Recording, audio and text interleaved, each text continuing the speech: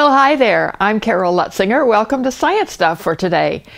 I thought we would talk about all of this stuff today, and you're probably going to say, What in the world is all of that?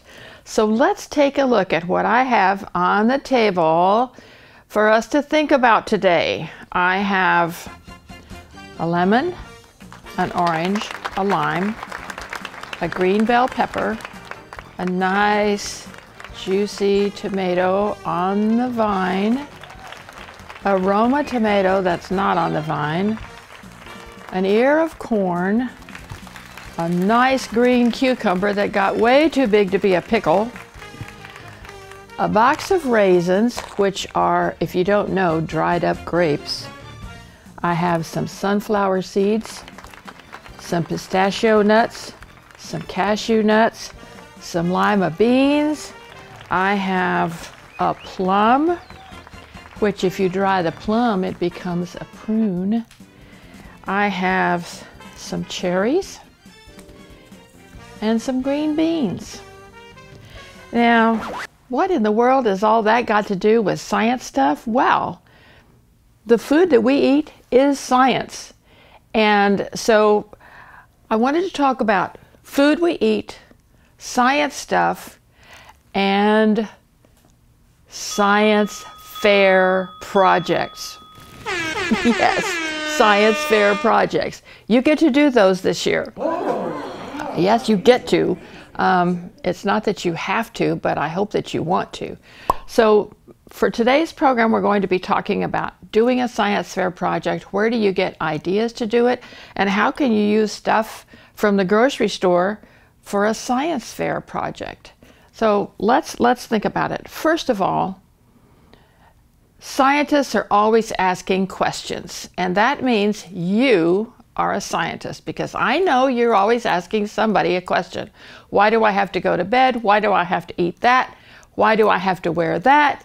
Why, why, why, why, why? And that's what scientists do. They ask why. Why is the sky blue? Why is the water cold? Why is it cooler in the shade than out in the sun? And they go look for answers. Now, some answers you can find by going to the library. That's what I would have done when I was your age, but nowadays you Google it. Why is the sky blue? And Google sends back all of these things for you to know about, and you can take your pick. But I thought we would narrow things down today and talk about seeds and fruits and vegetables and how it connects to science. So I did bring some packets of seeds. I have some lettuce, carrots, and squash. Okay, so if you're thinking about, oh, I have something else down here too. I have cotton. Yes, cotton. Did you know that the cotton that comes out of the plant has seeds in it? And they're tough to get out of the cotton, but if you pick hard enough, you can get a seed out of the cotton boll. And I'm just going to set that seed right there because we've talked about cotton before. And uh, I, well, it wants to stick to my fingers so all of these things have to do with growing things, and growing things have to do with the amount of sunlight, the kind of soil you have, how much water it gets. If, if you remember, this year we started out having a drought and everybody was worried about the rain. And then we got days and days and days of rain, and people said, Oh, it's too much rain, stop rain. So all of those things have an effect on whether we have food to eat or not. So farmers pay really close attention to the weather and rainfall and the kind of soil that they have. So so let's get started on science fair projects.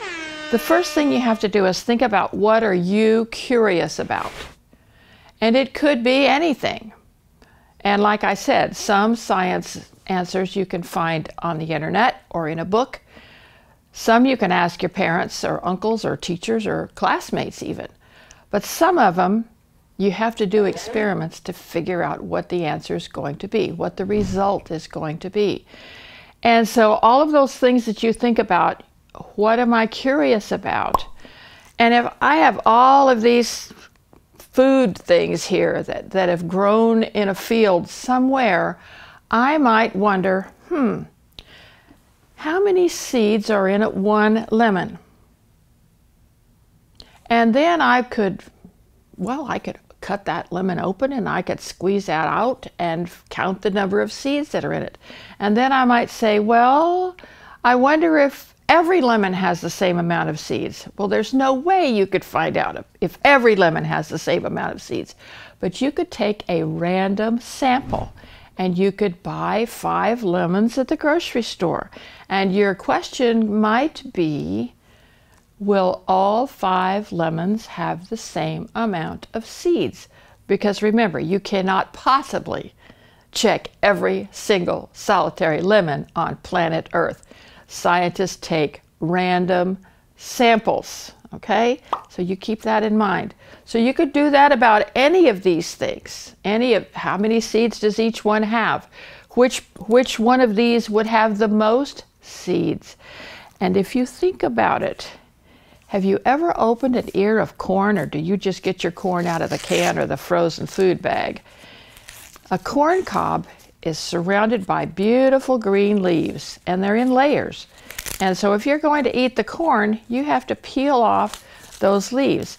And if you like tamales, you know that dried corn shucks make a really good wrap for a tamale. And so if we keep unwrapping our little ear of corn, and each one of these is called an ear of corn. Why, I don't know. Maybe because it sticks out at the side of the stalk. And the valley grows a lot of corn.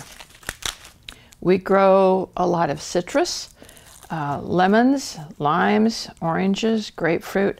Now, as I'm getting down to the corn, you see all of this silky material here. Um, and inside is all of this beautiful, beautiful, beautiful. Boy, this is making me hungry.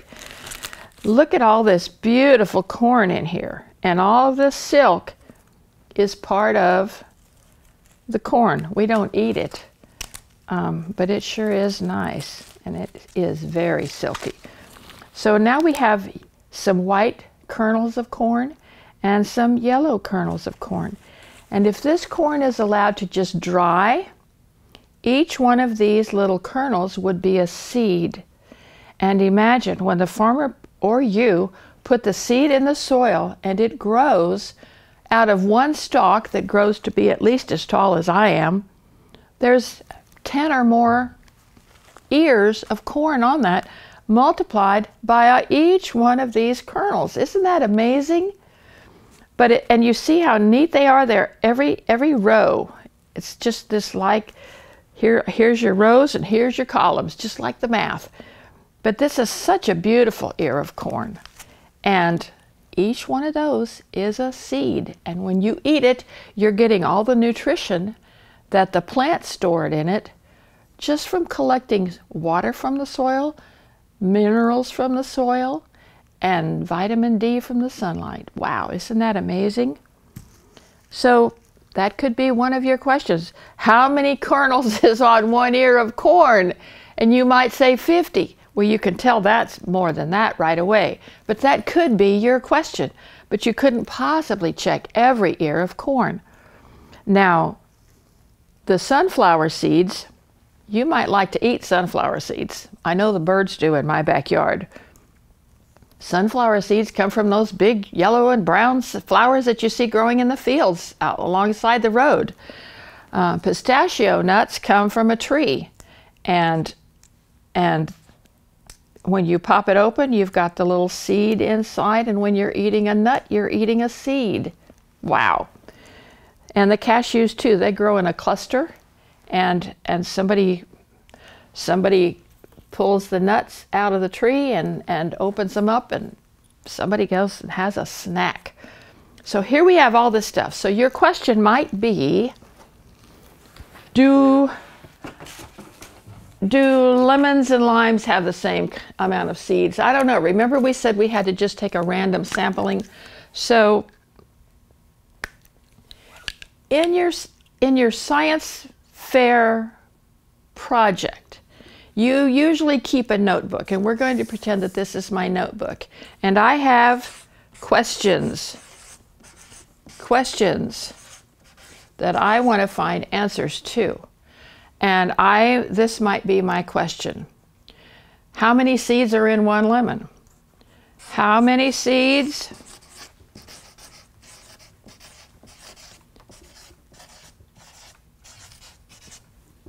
are in something with a question mark?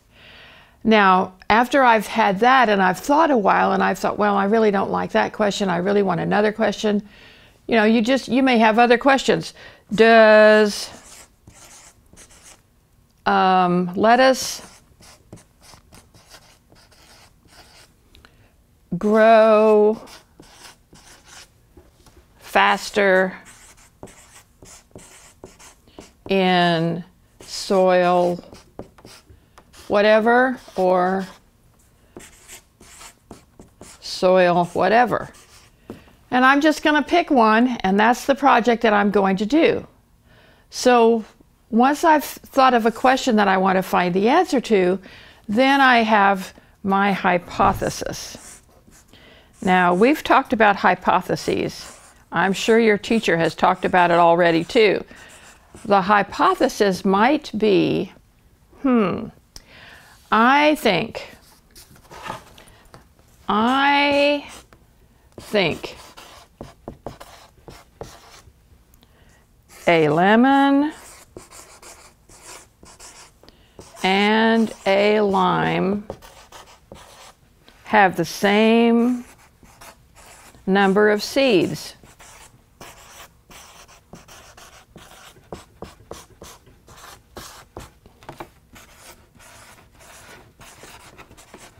And that would be my hypothesis. Now, I'm only going to take a random sampling, remember? I'm not going to take all the lemons and limes off of all the trees in the world. So my random sampling is going to be, you would need to do at least five if you were doing this for school. But since we're doing this for now, I'm only having one lime and one lemon. And let's see, where did I put my little handy dandy knife? So you would ask your parents about using a knife and cut open the lime and count out the seeds. Now, I don't see any seeds in this lime, but let's see. Let's check the lime, I mean the lemon. Lemons are yellow, limes are green. So I see some seeds here in my lemon. There's one, two. Now the best thing to do would be to squeeze the lemon and, and uh, that, that makes the, the seeds come out. One, two, three, four. And I'm not sure about this lime. I don't want to make a mess here on the table. But that's how you do it. It's very simple. A science fair project doesn't need to be scary. The scariest thing is when your teacher says you have to do a science fair project. And there's all sorts of um, resources in the school library, there's resources on the internet. Your older brother and sister can tell you how to do one, just don't do theirs. you don't want to do theirs. You want to find out your answers for yourself. So, um, science fair projects can be fun. After you've got your, your seeds out, then you have to collect your data. And you might say on, on limes, lemons, and the number of seeds, well, the first one had four, the second one had six. Um, um, let's just say, I'm just picking numbers, but you don't pick numbers, you count. And remember I said we had to have at least five? So, so there's what I've got for my limes and seven, six, five, six, and five, okay? So what I found out is, no, they don't have the same. And this is where you explain. My data shows that I had this many limes, I had this many lemons, and That's your data. Then you have to tell somebody about it. And just because you keep it a secret, nobody knows about it, you got to tell. And that's what scientists do. When they find out something, they tell the whole world. Sometimes they put it on the internet, sometimes they write it in journals, sometimes they tell it to the TV people. Just depends on how exciting it is. So, your science fair project would be something that you're interested in, something that you have fun doing, and stick around and get the job done. Don't leave it half done and I'll see you next time. Thanks for watching.